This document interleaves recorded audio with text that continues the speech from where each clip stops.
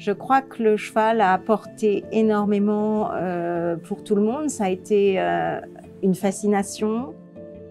E mi sono innamorato immediatamente di questo sport perché è uno sport innanzitutto che ti lega al cavallo. Imagine yourself going as fast as you can, but on something that has its own mind, that is not something you're 100% controlling. You're a team. Perdón. La verdad nunca pensé que mis hijos fueran a ser tan profesionales como lo son. No teníamos dinero, entonces... Get on someone else's horses and ride them once and go flat out to fight for the world championship. It's like no other sport.